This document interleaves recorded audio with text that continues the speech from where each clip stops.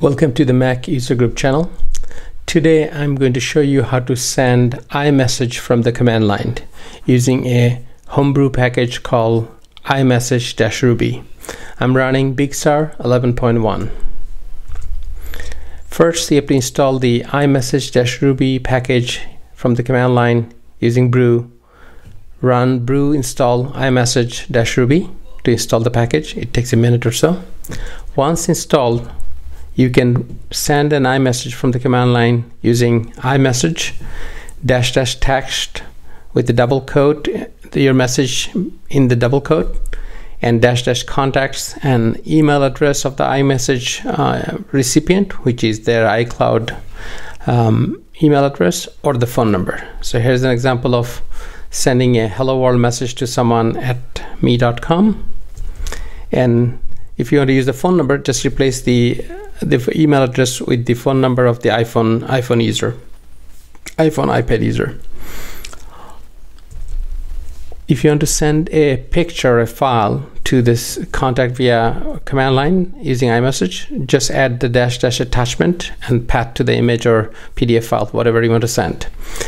That's how you would send a file to the uh, end user, the recipient. I'm going to show you how all this in real world example. Now, I've already installed iMessage Ruby, so to test send a message, I'll type iMessage dash dash text hello world and dash dash contacts mjkabir at me.com that's my iCloud address. And I can see on my app right there iMessage app that I've sent a hello world and I can also see on the phone I should receive a hello world message right there. So now I'm going to send myself a image.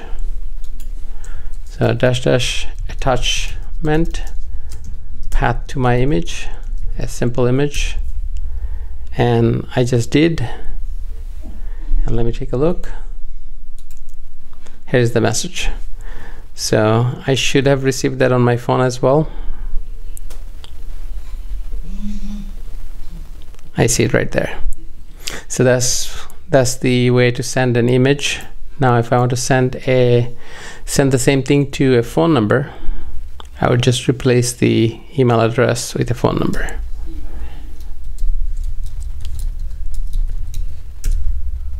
Same thing happens again message comes. So that's about it. It's very easy to send a iMessage from a command line using this. So one of the cases where I like to use this is when I'm processing a video file and it's taking a long time, let's say 10 minutes. So I just would run a script, call, you know, that just checks if the file is created with the size more greater than zero and then send me a message so I can come back upstairs and and work on the computer because I don't want to I usually don't like to work on the computer when the video processing is uh, being done so hopefully you'll find many use for this and I'll in the future I'll show many use for these kind of tools in scripts and other things that we'll be showing in this channel. If you find this channel useful, please like and subscribe. Thank you.